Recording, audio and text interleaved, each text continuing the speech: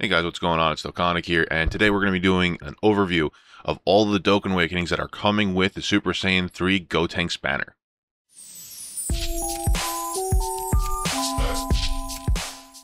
Now, before we start, I did just want to say, um, the Gotenks card itself has been rehashed to make it a little bit more OP, based off of the original release. The one that originally had, at least the one that you guys will probably be the most uh, aware of, is that HP drain when launching the 12 key um, um, super attack. Uh, that's been rehashed and that's no longer a thing. I'll be going over that here, but I'll be going over it a little bit more in depth in a separate video, which I'm going to drop a little bit later on today. With that being said, let's just go ahead and jump into the card review. Now, I'm not going to go over the um, uh, undoken formed of these cards, at least all their stats, just because there is a handful of them and I don't want this video to be too long. Um, so I'm just going to go over the title, show you quick image of that card, and then we're going to jump into the actual Dokkan card and that review. Um, so the first card is going to be the Ecstatic Combat Super Saiyan Goku card. Um, he got a Dokkan Awakening. I'm not sure why he's on this banner specifically, but, you know, or why he is available for Dokkan Awakening on this banner specifically, but whatever, hey, you know, that works.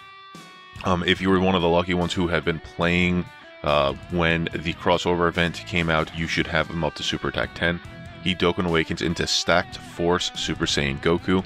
His new leader skill is Intelligence Key plus 2, HP attack plus 70%. His super attack is Instant Transmission Kamehameha, causes supreme damage to the enemy and rare chance to stun.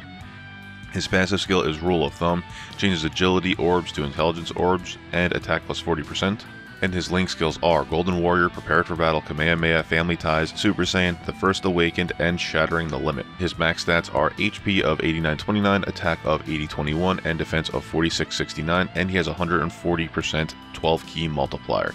Now this card only got a slight buff all around, so it just made him a little bit better. I mean, he I wasn't, I never really used him unless I wanted that passive skill for orb manipulation, so it just made him a little bit more relevant in today's meta. Um, still an overall good card. Um, he's not horrible by any means, but I wouldn't recommend running him on an optimal team unless you're running with like the, the intelligence trunks that has that uh, passive to increase his attack with intelligence orbs. Next card is going to be the Shining Justice Super Saiyan Gotenks Teen card. Now he was available specifically on the Dragon Ball Hero summon, so we still don't know if we're going to be getting that on the global side.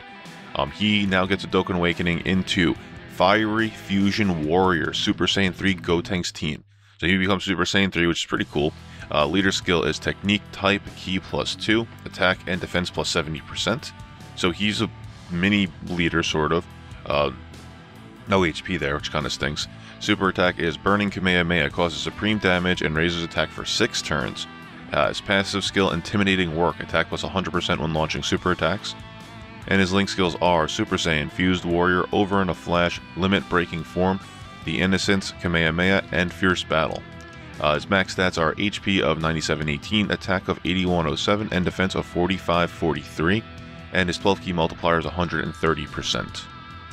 So, um, he's cool. Uh, if you guys have seen my earlier videos, I'm not a big uh, fan of the attack raise for 6 turns uh, it's all right. But I mean, uh, in terms of I, uh, you know, OP teams, if you have the most ideal or most optimal team, that attack buff for six turns is not going to work out that well, in my opinion.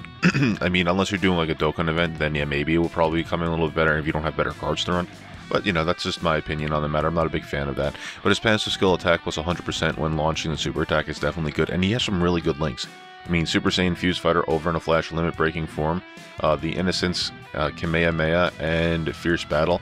All of those are actually really good link skills, especially on a technique team. Because the technique team, you do have the uh, Super Saiyan 3 Goku lead, you have the Super Saiyan 3 Vegeta.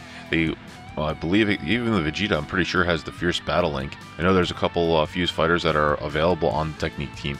Uh, almost everyone's a Super Saiyan and the Innocence is all Gotenks based. So, well, not really all Gotenks based, but there's a lot of cards that actually have the Innocence as well. So he's just an all-around good linking buddy, and he has a good passive skill. All around, this is a really good card. Uh, next one is Confident Fusions Gotenks. Um, he now got a Dokkan Awakening. This is the Strength Gotenks. He Dokkan Awakens into, uh, he's still not Super Saiyan or anything. Um, Premonition of Victory Gotenks. His leader skill is when HP is 30% or above, Ki is 3, attack and defense plus 30%. Oh, I do not like that leader ability, hate restrictive leaders.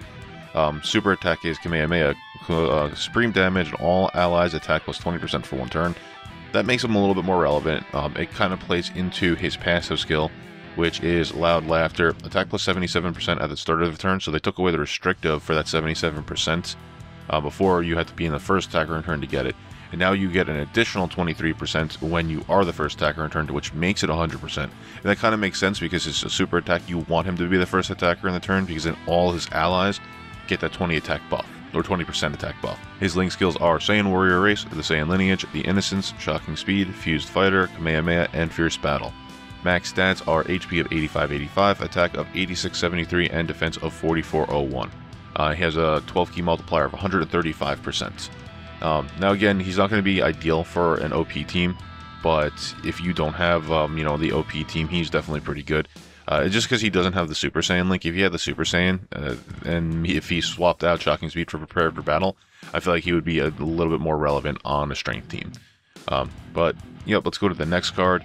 Uh, double the power Gotenks, that's the base form agility Gotenks. He now gets a Dokkan Awakening to uh, Cap of Transcendence Super Saiyan Gotenks. So he Dokkans into a Super Saiyan. His leader skill is all types key plus 3 attack and defense plus 30%. Uh, Super Attack Galactic Donut causes supreme damage to the enemy and lowers defense. Passive skill Tokugao, if I pronounce that right. um, attack plus 15% per key um key sphere obtained for every key sphere obtained. So there's no restriction on agility. Did he have that on last one? No, he didn't have that on last one either. So he's actually a really good nuker now. If you happen to be running that uh, Golden Frieza, I mean, I know nuking is an outdated meta, but if you want to, I mean, now he, he has a supreme damage multiplier and his passive skill is 15% per key orb obtained, so that's pretty damn awesome. Link skills are Golden Warrior, Super Saiyan, Prepared for Battle, The Innocence, Supreme Power, Fused Fighter, Fierce Battle. So yeah, he's really good on an agility team.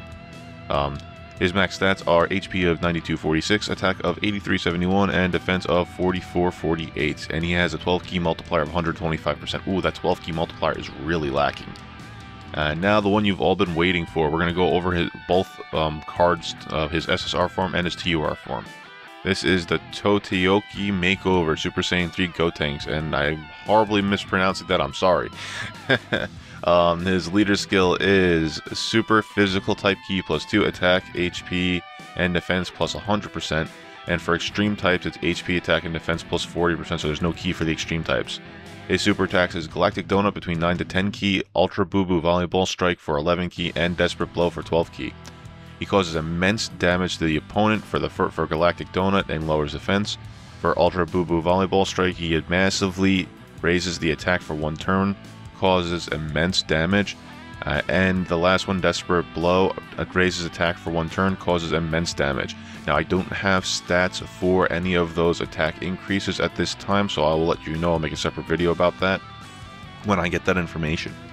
Passive skill, strongest for 5 minutes, attack plus 100% at the start of turn, and then from 5 turns uh, from the start of turn, attack plus 40%, but defense minus 20%. So he has 5 turns where his attack is an additional 40%, so it's 140% uh, but he has a 20% uh, debuff to his uh, defense. His link skills are Super Saiyan, Fuse Fighter, Over in a Flash, Limit Breaking Form, The Innocence, and Budding Warrior. So unfortunately that, the physical uh, trunks that I had mentioned in my last two videos, um, he didn't get a Dokkan Awakening, but he does link with him. He has that Budding Warrior link, so that's an extra 10% right there, so that's not horrible. Uh, and yeah, I believe he has the Innocence.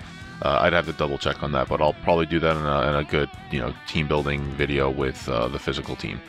Uh, so his max stats are HP of 8160, attack of 9124, and defense of 4140. Uh, he has a 12 key multiplier of 140%. And he dokkans into number one Maverick of the universe, Super Saiyan 3 Gotenks. His leader skill is Super Type Key plus 3, HP attack and defense plus 120%. Extreme type key plus 1 HP attack and defense plus 50%, which that's really underrated. That's really good for an extreme type. You could throw at least one extreme character on there, it's not bad at all. All the super attack information is the same for this card, so I'm not going to go over it. Uh, passive skill, the name isn't currently available, but it is attack plus 120% on the start of the turn. And for 7 turns, attack is 60%, but defense is minus 30%.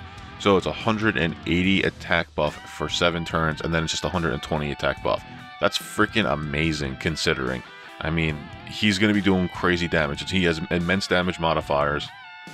And then he has his passive skill 120%, then another 60%.